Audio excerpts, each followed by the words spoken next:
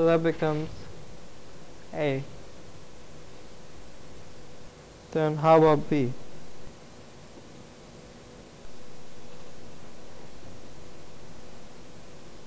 What do you think are the coordinates for B?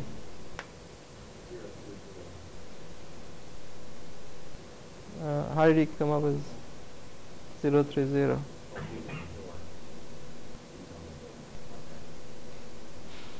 Zero three and sine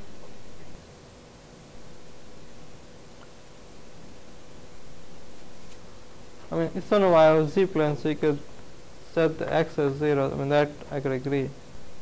But how about the other two?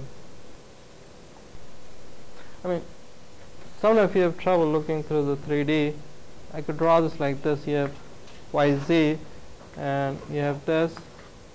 Then this angle is 20, and then the length here is given as 3. So your the length here that's going to be 3 sine 20. The length here is going to be 3 cosine 20. So looking at this, I could say that x was 0, y is 3 cosine 20, and then z should be 3 sine 20. So that's what you get as the coordinate for point B.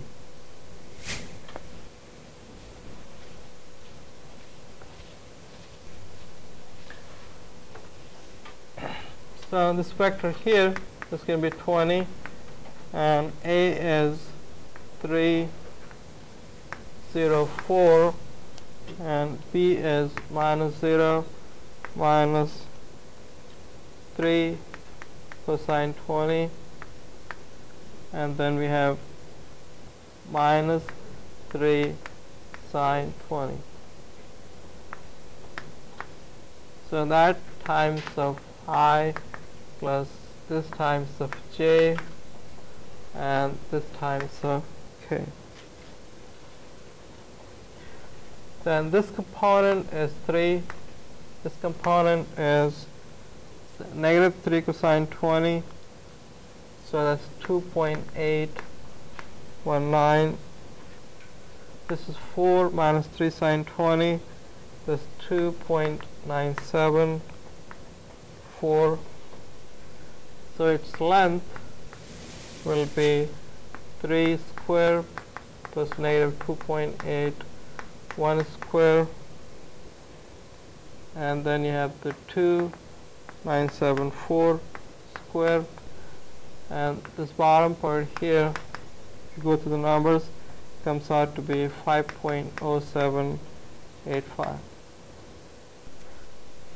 and if you go to the actual calculations the force vector comes out to be 11814 i negative 11102j plus 11 712 k. So that's the force vector then we need this one here. So we go with this here that is 3 i 0 j and 4k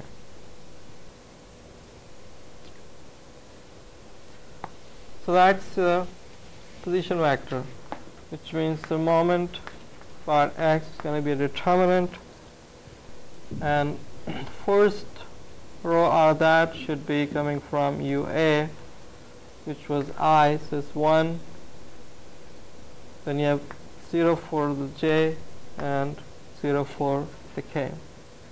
Then the second row comes from the R so that's 3 0 4 third row comes from the force that's 11 8 1 4 negative 11 102 and 11 7 1 2 and then you're going to find the value of the determinant. So you're going to start with 1 and your product will be this and this. And what you get is 4 11 1 0 2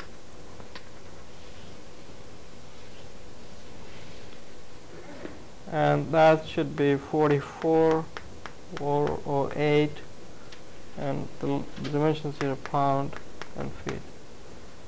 Then the actual vector. That means if I'm looking at the vector for this moment then you have mx times i. And that's 44 408 times i pound feet. So that's what you get as the moment vector about the x-axis. Incidentally for this problem somebody asks you for the moment about let's say y-axis. Then all you have to do is instead of this you put a 1 here. Because your point you're choosing is O and O is being origin it's going to work for x component y component and the z component. Okay I'm going to give you uh,